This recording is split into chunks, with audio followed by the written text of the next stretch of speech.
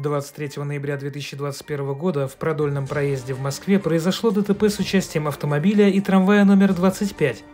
По информации ГИБДД, в результате аварии два человека получили травмы.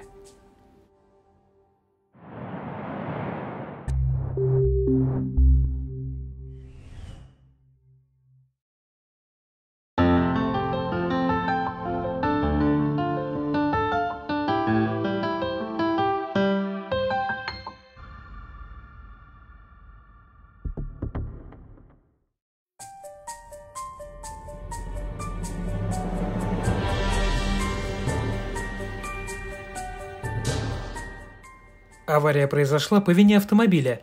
Водитель, поворачивая налево, не пропустил городской транспорт и допустил столкновение.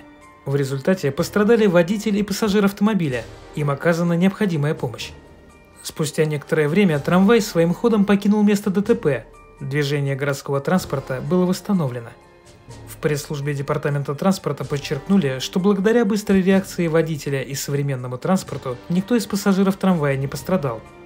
Тем не менее, движение трамваев на данном участке остановилось на 2 часа. Водители и пассажиры трамвая испытали сильный стресс, а сам трамвай необходимо ремонтировать. Департамент транспорта убедительно попросил быть внимательными при пересечении трамвайных путей. В среднем каждый месяц происходит около 50 ДТП с участием трамваев. Это примерно 23 часа потерянного времени пассажиров городского транспорта.